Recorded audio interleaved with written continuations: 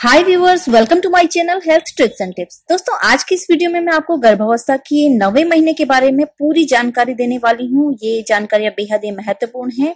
तो आप इस वीडियो को अंत तक देखिए और वीडियो को स्किप ना करें।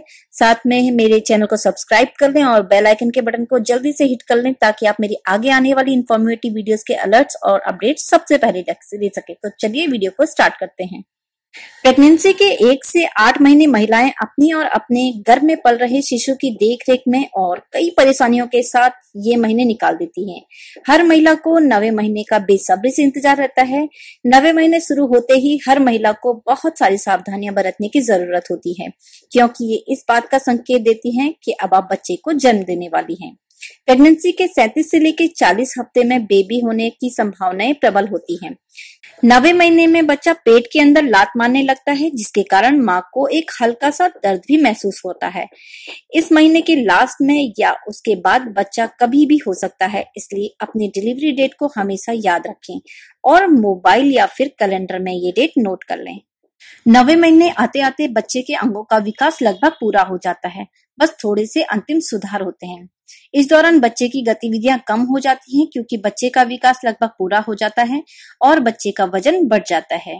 इस समय आपके बच्चे का सर नीचे की तरफ़ हो जाता है और इस दौरान बच्चे का वज़न हर हफ़्ते लगभग आधा किलो बढ़ता है और लंबाई लगभग 20 इंच तक बढ़ जाती है। जन्म के दौरान फेफड़ों के फैलने में सहायता करने के लिए बच्चे के फेफड़ों से तरल सक्रिय कारक श्रावित होता है।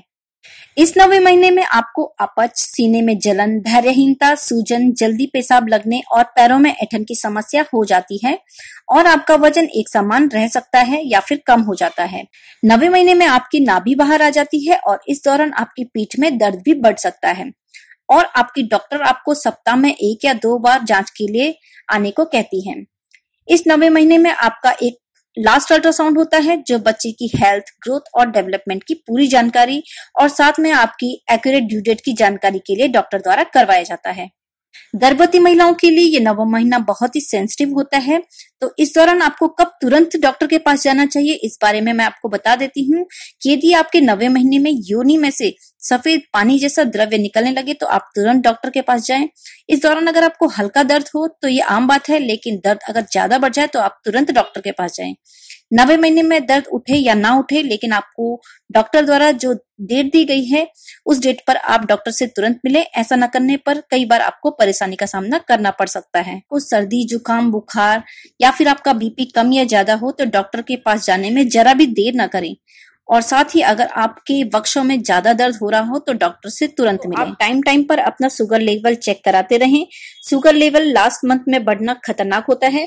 तो शुगर लेवल बढ़ने पे तुरंत अपने डॉक्टर से संपर्क करें। इस बात का ध्यान रखना चाहिए कि अगर आप प्रेगनेंसी के दौरान भी जॉब कर रही हैं तो लास्ट मंथ में आप जॉब से लीव ले लें। साथ ही डिलीवरी के अंतिम चरण में किसी भी प्रकार का तनाव ना लें। तनाव मुक्त रहने की कोशिश करें, क्योंकि इससे आपके बच्चे और आपको खतरा हो सकता है। इसके साथ ही नवे महीने में भी आप झाड़ू पोछा कर सकती हैं। अगर पोछा नहीं लगा पा रही हैं तो झाड़ू लगाने की कोशिश करिए। इससे आपकी पीठ, रीढ़ की मांसपेशियाँ व हड्डियों को आराम मिलता है। ऐसा तभी करें जब आप पूरी तरीके से स्वस्थ हों। और इसके साथ आप भरपूर नींद लीजिए और पर्याप्त आराम करिए। और अपने चिकित्सक द्वारा दिए गए निर्देशित दवाइयाँ और सप्लीमेंट्स को अवश्य लीजिए। इस नवे महीने में भारतीय शौचालय का इस्तेमाल करें तो बेहतर होगा। जो कि डिलीवरी के समय आपके लिए लाभदायक होता है। महीने में गर्भवती महिलाओं को हल्का हल्का व्यायाम करना चाहिए और डॉक्टर के अनुसार इस महीने में टहलना एक अच्छा व्यायाम होता है। तो टहलने से पीठ और पेट का व्यायाम अच्छा होता है जिससे कि शरीर के दर्द में आराम मिलता है। तो ढीले और आरामदायक कपड़े पहनकर व्यायाम करिए और अगर आपको व्यायाम करते समय सांस लेने में दिक्कत हो या सांस फूलने लगे तो आप तुरंत व्यायाम करना बंद कर दें। नवे महीने गर्भवती महिलाएँ अच्छी डाइट लें क्योंकि बच्चा पूरा विकसित हो जाता है तो बच्चे और माँ दोनों के लिए अच्छी डाइट बहुत ज़रूरी होती है। इसमें आप आयरन और प्रोटीन युक्त चीज़ों का सेवन करें। हरी सब्जियों और अंडे में आयरन और प्रोटीन दोनों पाया जाता है, इसलिए प्रेगनेंसी के नवे महीने में इनका सेवन बहुत ही लाभदायक होता है। इस महीने एक बार ज़्यादा खाने की बजाय दिन में चार पाँच बार खाना खाएँ। इस महीने में लंबे समय तक भूखे ना रहें, क्योंकि इस दौरान आप ही खाना नहीं खा रही हैं, आपके पेट में पल रहा शिशु भी पूर्ण आहार लेता है। इस महीने में तली भुनी चीज़ें और मिठाइयों के सेवन से परहेज करना चाहिए। इस समय आपके शरीर को पोषक तत्वों की और फाइबर की अधिक ज़रूरत होती है, इसलिए इस महीने में ताजे फलों और हरी पत्तेदार सब्जियों का सेवन अत्यधिक करें। अधपकी चीज़ों का सेवन ना करें, खाना अच्छे से पकाकर खाएँ, साथ ही गर्भावस्था का नौवा महीना अर्थात आप माँ बनने वाली है तो ऐसे में आपको कैल्शियम युक्त फलों और सब्जियों का अधिक सेवन करना चाहिए। इससे आपकी और आपके बच्चे की हड्डियाँ मज़बूत होंगी। कैल्शियम के सेवन से बच्चे के लिए स्तनपान के लिए दूध भी बनता है। इस महीने में साफ़ सफ़ाई का विशेष ध्यान रखें। गंदे कपड़े ना पहने। बाहर का खाने की बजाय घर में ताज़ा खाना बनाकर खाएँ और घर से बाहर जाते समय पानी की बोतल अपने साथ अवश्य रखें।